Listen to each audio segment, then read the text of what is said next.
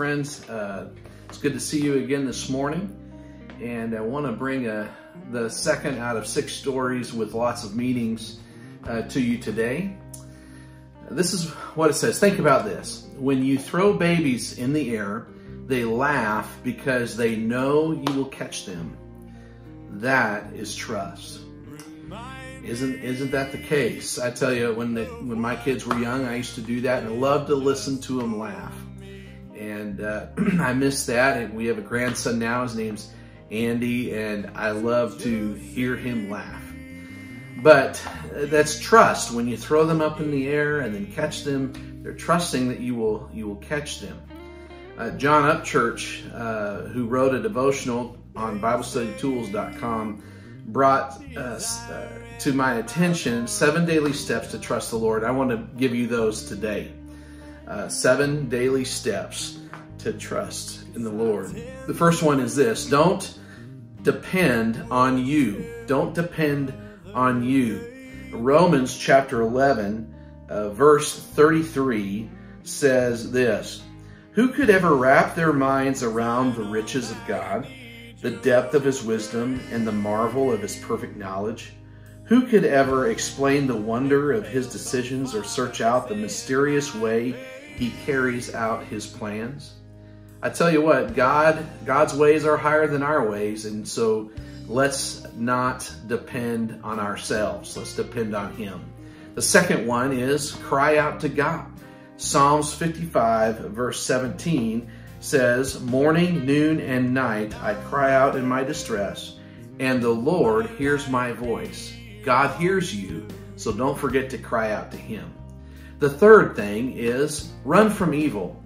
Proverbs 3 7 says, Don't be wise in your own eyes, fear the Lord and shun evil. Uh, James, uh, in the book of James, one of my favorite verses, submit to God, resist the devil, and he will flee from you. So, uh, as we learn to trust God, let's run from evil. Uh, number four, uh, put God first in your life. Honor him. Deny yourself. And take up your cross and follow him. Put him first. Seek him first. Number five, check yourself by God's word. Uh, Jeremiah 17 verse 9 tells us that the, the heart is deceitful and desperately wicked. Who can know it? Uh, God knows our heart. And so check yourself by his word. Number six is listen to the Holy Spirit listen to the Holy Spirit. And I want to look up John, the, the Gospel of John, uh, chapter 14, verse 26, and read that to you as well. Uh, but when the Father sends the advocate, my representative, that is, the Holy Spirit, he will teach you everything and will remind you of everything I have told you. So it's important for those of us who are Christians to listen to the Holy Spirit. And the last thing, number seven, is this rest in God's love. It's important to rest in His love, His agape love, His love that never ends. Oh, what an awesome God He truly is. I hope you have a wonderful day today. Let's bow our heads in a word of prayer. Lord Jesus, as we come before you in the midst of this uh, being stay at home and quarantining and all of that. God, we just uh, call upon your name and we want you to know that we love you and we trust you today.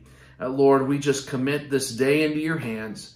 Uh, we, we just uh, pray these things all in Jesus' name. Amen. Well, have a wonderful day.